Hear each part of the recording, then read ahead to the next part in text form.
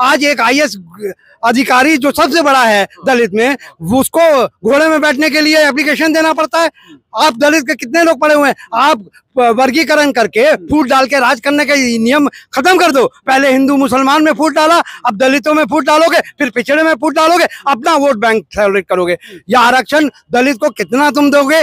तुमको देना ही पड़ेगा या उनका संवैधानिक अधिकार है? सामाजिक मामला है आर्थिक मामला नहीं जो आरक्षण मिल रहा है। नहीं नहीं नहीं। समाज में चीज़ें फैलेंगी नहीं तब जब तक समाज में चीज़ें नहीं आ पाएँगी कि कुर्सी दुलाने की नौबत ना आए तब तक आरक्षण की ज़रूरत है। बिल्कुल जब तक दलित के घोड़े में बैठने नहीं दिया जाएगा दलित को मंदिर में घुसने नहीं दिया जाएगा पिछड़ा अगर मंदिर में चला जाएगा उसको धुला जाएगा तब तक आरक्षण देना पड़ेगा। या तो यहाँ से अपना साफ़ कर लो यहाँ से साफ़ कर लो दलित को भी मंदिर में प्रवेश दो।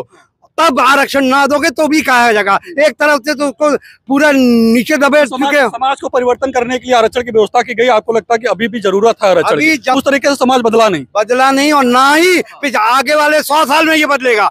दलित का प्रेसिडेंट होके वो मंदिर में नहीं जा पा रहा है। क्या बदला समाज? और आप बोल रहे हो कि आरक्षण देगा क्रीमी लेयर कहाँ है क्रीमी लेयर हम लोग कह रहे हैं कि आरक्षण की वजह से देश का नुकसान हो रहा है। ये कौन लोग हैं जो आके देखे नुकसान क्या हो रहा है? बेरोजगारी आप ऐसे ही लोगों को नहीं दे रहे आज पंडित ठाकुर भी बेचारे बेरोजगार हैं आर्थिक रूप से पिछड़े हैं। आप जातीय जनगणना करा लो। जातीय जनगणना में आपको पता चल जाएगा एक सौ पंद्रह करोड़ लोग बेरोजगारी के नीचे हैं जो ग्यारह हज़ार रुपया कमा रहे हैं। क्या बात कर रहे हैं आप आरक्षण का? पहले से ग्यारह हज़ार रुपया कमा रहे हैं एक सौ बीस करोड़ लोग।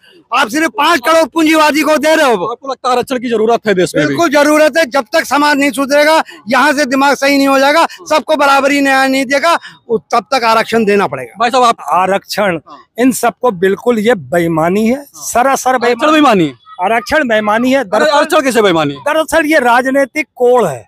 ये चाहे हाँ, आरक्षण को आप राजनीतिक कोड़ बता रहे ये कोई भी पार्टी हो ये राजनीतिक कोड़ है। बेईमानी कैसे? आरक्षण बेईमानी कैसे? मैं बताता हूँ ना हम्म। आप किसी को ये कह दो कि जाति के आधार पर दे देंगे हाँ। कि जाति गणना कर लीजिए कि जिसकी जितनी भागीदारी उतनी उसको मिले। हाँ। तो क्या आप दसवां बारहवां पास को क्या आप डॉक्टर की डिग्री दे देंगे? हम्म। तो अगर उसमें काबिलियत तो हो बारहवें के पास को डॉक्टर की डिग्री नहीं दे रहे हैं ना? एमबीबीएस करना पड़ेगा तभी डॉक्टर की डिग्री बनेगी। लेकिन आरक्षण उसमें मिल रहा है कि उसका एडमिशन हो जाए।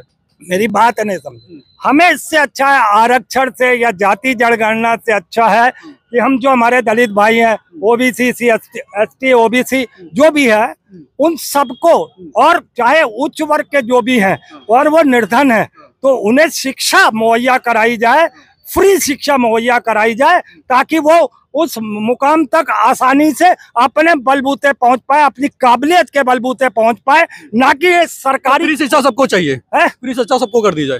फ्री शिक्षा ही से परिवर्तन आ सकता है। आरक्षण तो ये इन लोगों का पाप है नेता पाप बता रहे हैं ये आरक्षण को पाप बता रहे आप कह रहे कि आरक्षण ज़रूरी है कह रहे पाप है। ये ये एक मिनट एक मिनट एक मिनट एक मिनट मेरी बात सुन लीजिए मेरी बात सुनिए आप। देखिए इन्होंने कहा कि मतलब मुफ़्त शिक्षा हो जाए ठीक है? लेकिन शिक्षा का भी तो एक अपना एम होता है कि हम शिक्षा ग्रहण करेंगे उसके बाद हम कहीं ना कहीं पाप सुनिए तो आर्थिक रूप से मजबूती मिलेगी तभी तो इंसान की पीढ़ियाँ अच्छे से होंगी ना। अगर मान लीजिए खाली मुफ़्त शिक्षा कर दी जाए और आरक्षण खत्म कर दिया गया और उसके बाद उसको जॉब नहीं लग पाई तो वो तो फिर फिर वही है कि उसका बच्चा भी मुफ़्त शिक्षा के इंतज़ार करेगा। तो आरक्षण जो है आरक्षण पाप कभी भी नहीं हो सकता। है अगर आप समाज में समानता लाने की कोई कोशिश कर रहे हैं समानता की कोई भी सोच कभी भी पाप नहीं हो सकती है। देखिए एक तो उसको शिक्षा में भी दिया गया उसके बाद जॉब में भी दिया गया। जब वो जॉब में आएगा एक तीस चालीस हज़ार की नौकरी पाएगा तो उसकी पीढ़ी ज़ाहिर सी बात है जो अगली तैयार होगी वो कैपेबल भी होगी कि आपको क्या लगता है आरक्षण की वजह से देश पिछड़ा हो रहा है? मैंने पाप क्यों कहा पहले समझिए ये पाप आप इसलिए कह रहे हैं कि आरक्षण की वजह से हम लोग पिछड़ रहे हैं। नहीं आरक्षण की वजह से? हम लोग पीछे जा रहे हैं। बिल्कुल पीछे जाएँगे। और हमको लगता देखिए हमने पाप के सेंस में कहा ये राजनीतिक कोड़ है। अब जो सत्ता में नहीं होता है तो वो आरक्षण की बात करता है। जब सत्ता में आ जाता है तो उसके सुर बदल जाते हैं। यही बात नरेंद्र मोदी ने 2013 में आरक्षण की बात कही थी जाति जनगणना की बात कही थी। उसके बाद क्यों तो पीछे हट गया? आप क्या चाहते हैं बताइए जो आरक्षण भी व्यवस्था आरक्षण की है जो मिल रहा है लोगों को आरक्षण आप चाहते सब खत्म हो जाए। हम तो ये चाहते हैं कि दलित या एस टी ओबीसी जो भी है अपनी पहचान बनाए ना कि S C S T OBC बन के समाज में एक गलत निगाह से जाना जाए उसे। एक मिनट एक मिनट, सर, मेरा बहुत पॉइंट मज़बूत है। मैं ये कहता हूँ, जो एसटी है है ना जो भी नीचे का तबका है उसे सम्मान से जीने का हक है और वो ये कहे कि हम एस टी ओबीसी है मगर उसका जो सरकारी लाभ उठाकर या अपने आप को नीच सा, हल्का साबित करके मुझे लगता है आपको लाभ तो इसलिए मिल रहा है बता रहे हैं ना तीन हज़ार साल उनके साथ ज्यादती की गई तीन साल तीन हज़ार साल परेशान रहे तब जाके आरक्षण मिला क्योंकि नीचे थे आरक्षण से ऊपर उतर रहे हैं। नहीं तो आप में अगर कोई योग्यता नहीं है और आपको आरक्षण दे दिया जाए तो मतलब हम किसी अनपढ़ आदमी को डॉक्टर बना दे इंजीनियर बना दे वो पुल बनाए पुल गिरा दे डॉक्टर का इलाज कर तभी बनेगा ना मिनिमम मिनिमम जो हाँ बताइए। ये बोल आरक्षण को पाप वही बोल सकता है जो पापी हो। हाँ। आप बताइए ये बता रहे कि अगर दलित ऊपर हो जाए तो सब इज़्ज़त करेगा। प्रेसिडेंट से कौन सा बड़ा पद है? राष्ट्रपति से बड़ा कौन सा पद है? अंबेडकर से कौन सा बड़ा पढ़ा लिखा आदमी है? उनका धुला दिया जाता है। मुख्यमंत्री से कौन सा बड़ा पद है? उसका टोटी निकाल के धुला जाता है। मंदिर जाते तो घर धुला जाता है। प्रेसिडेंट को नहीं बुलाया जाता है। प्रेसिडेंट से बड़ा कौन सा पद है? ये यहाँ पर है। जब तक समाज नहीं सुधरेगा, आरक्षण देना पड़ेगा। छीन के लिया जाएगा आरक्षण। आरक्षण छीन के लिया जाएगा। संविधान में हमारा हक है। संविधान के बारे में कोई टिप्पणी नहीं कर सकता। ना आम जनता, ना सुप्रीम कोर्ट। ये बताइए भाई साहब आप। सुनिए, सुनिए, मैं- मैं- ये- मैं- ये मैं- पार्टी विशेष की बात कर रहे हैं। इन्होंने पार्टी विशेष की बात की है कि वो दलितों को उठना नहीं देना चाहते वो है भारतीय जनता पार्टी। वो जातियों की बात करती है, वो ऊंच और नीच की बात करती है, बाकी कोई पार्टियाँ नहीं करती है। और मैंने तो कोई गलत बात नहीं की, मैंने तो जितने आदिवासी हैं या दलित हैं, उनको ऊँचा, उनका स्तर बनाने की बात की है कि वो शिक्षा के माध्यम से आए, अपनी पहचान बनाए, अपने आप को जो दलित कहलवाए। मुझे लगता है ये शर्मिंदगी की बात है कि अरे यार, दलित राष्ट्रपति हो गया, दलित प्रधानमंत्री हो गया क्या आरक्षण से दिक्कत क्या है आपको? अगर अगर थोड़ा बहुत आरक्षण मिल भी रहा है पचास परसेंट के नीचे तो मिल रहा है तो आपको दिक्कत क्या है? मैं कहता हूँ अगर मिल रहा है हाँ। या नहीं मिल रहा मैं उस पर नहीं क्लास के जाना हैं। चाहते। मगर सरकारें तो इस पर राजनीति करती है ना। एक सरकार आती है उसको ले आती है। बहुत सारे लोग कह रहे हैं कि आरक्षण अभी अभी तक सही से लागू नहीं हो बता रहे कि आरक्षण से देश पीछे जा रहा है भाई साहब। देखिए मैं इसका एक सॉलिड जवाब आपके दे दूँ। अभी ओलंपिक जो हाल में खत्म हुए हैं हाँ। अब पूछे कितने मेडल आए इंडिया के? हाँ। छह आए हैं ना? हम्म। छह आए हैं हम्म। वहाँ पर तो कोई आरक्षण नहीं था हम्म।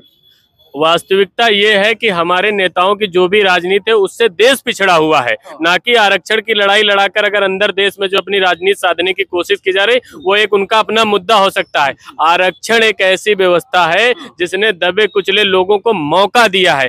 भीमराव अंबेडकर जब इतने पढ़े लिखे इंसान थे तो उनसे क्या ऐसे चूक हो सकती थी? उन्होंने ये चीज़ देखी क्योंकि हमने अपनी आँखों से नहीं देखी ना कि तीन तीन तीन तीन हज़ार साल अगर मान लीजिए किसी दलित समाज के व्यक्ति के अंदर पढ़ाई की योग्यता रही होगी लेकिन उसे पढ़ने का हक नहीं था। उसके अंदर मान लीजिए कि जो है लड़ाई का कौशल रहा होगा लेकिन उसे लड़ने नहीं दिया गया। आप सोचिए कि उनमें तीन हज़ार साल का वेट करना विकास देव कीर्ति सर का आपने कहीं ना कहीं वीडियो देखा होगा जहाँ पर उन्होंने ये खुद माना है। बात भाई साहब कह रहे हैं कि ओलंपिक में आरक्षण नहीं है। छह मेडल खाली आए एक सौ चालीस करोड़ जनसंख्या हमारी। चीन चीन बगल में है। जनसंख्या उसकी बराबर है। वो नब्बे से ज़्यादा मेडल जीता है। अब बताइए आरक्षण उसमें भी तो नहीं है। हम लोग क्यों क्यों पीछे खेल मैं कहना चाह रहा हूँ ये वर्तमान सरकार और पिछली सरकारों का पाप है। हाँ। मैं पाप पे क्यों ज़ोर दे रहा हूँ। इन्होंने उन्हें नीचे दबा के रखा उन्हें शिक्षा से महरूम रखा। अगर शिक्षा मिली होती अगर सन पचहत्तर में पचहत्तर साल पहले जब हमारा देश आज़ाद हुआ था अगर ऊपर पे हमने शिक्षा पर ध्यान दिया होता। शिक्षा पर ध्यान दिया होता तो आज शायद ये नौबत ना आती कोई दलित ना होता कोई एस टी ओबीसी ना होता कोई कुछ ना होता सबको खत्म किया जाए। है। खत्म किया जाए। बिल्कुल ये कोड है? ये कोड है? जातिया कोड है? कोड है? क्या ब्राह्मण जातिया कोड नहीं है। आरक्षण का नाम लेकर सत्ता पे बैठे ये नेता उसको कोड बनाते हैं? भाई साहब रहे हैं कि ओलंपिक में ओलंपिक में हाँ, आरक्षण नहीं खेल में आरक्षण नहीं। ओलंपिक में हम लोग गए थे छह मेडल खाली जीते। हैं कह छह मेडल खाली जीते। भाई देखिए वो तो आपकी काबिलियत के ऊपर है।